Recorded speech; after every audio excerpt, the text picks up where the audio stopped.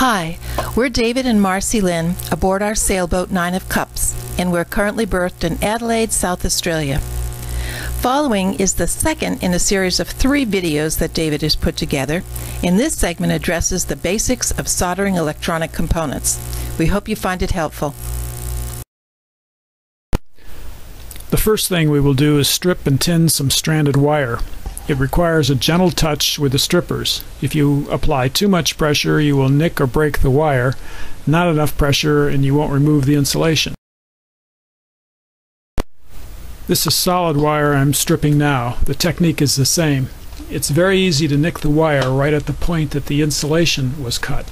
Look at it closely and make sure it wasn't damaged.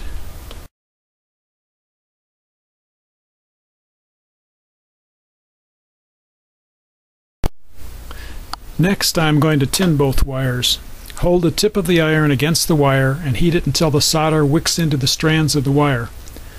With the solid wire, the solder should coat the wire. Less is better. You can remove excess solder by heating the wire and giving it a sharp rap against the tabletop.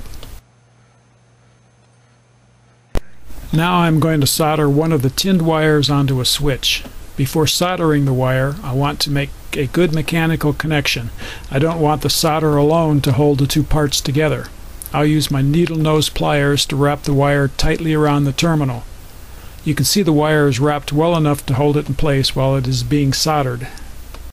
To solder it, I first melt a little solder on the tip of the iron, then hold it against the terminal. I then touch the solder against the wire until it flows into the joint. Don't use too much solder. You want just enough to make a good connection. The solder joint looks good. At the end of this video I'll show you some bad solder joints.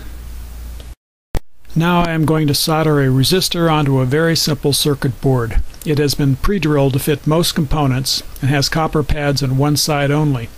When I mount the components on the board, I will put the component on the side without the copper so that the leads extend through to the side with the copper.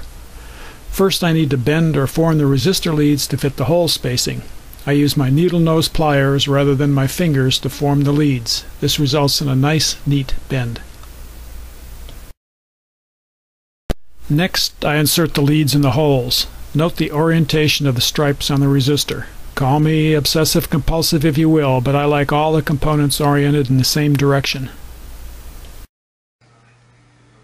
Now I'll solder the leads. I put a little solder on the iron chip to renew the tinning, then hold it against one of the connections. After it heats up, I add a little more solder and keep the iron in place until the solder flows. I use the same process for the other connection.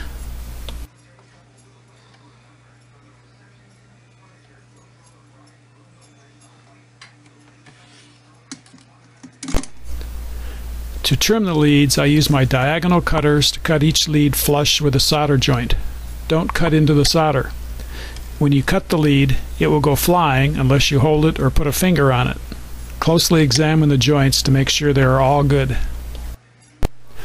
Next I will solder a 14-pin integrated circuit, or IC, onto the circuit board. Sometimes it will be necessary to bend the leads to get them to fit through the holes in the circuit board, and it is not uncommon for one of the pins to fold under the IC rather than go through the hole, so watch closely as you insert it. This one fits in place with no problems.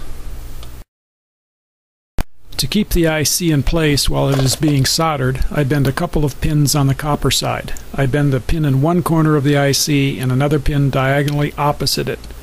I prep the soldering iron tip by wiping it on a damp sponge or rag and then freshen the tinning with a small amount of solder. I will solder the two bent pins first. I hold the tip of the iron against the pin of the IC and the copper pad and allow it to heat up for a second, then I let a small amount of solder flow into the joint. You want just enough solder to form a small cone from the copper pad to the lead of the IC. Too little solder and you'll have a void in the joint. Too much solder and you'll have a round blob instead of a cone shape, or worse yet, a short to the next pin. Solder the two bent pins, then check that the IC is sitting flush against the board. If necessary, heat one of the two joints up while pressing down on the IC. Once it looks good, solder the remaining pins. Hopefully when you finish soldering the IC, your solder joints will look a bit better than this. In this still shot, you can see the bad solder joints more clearly. There is a void around one of the IC pins, a solder bridge between two other pins, and one of the resistor leads has too much solder. Finally, this sketch illustrates several solder joints. You can see the cone shape you are striving for on the left. The other views show typical bad solder joints. It takes a little practice to get it right, but it isn't all that difficult to learn.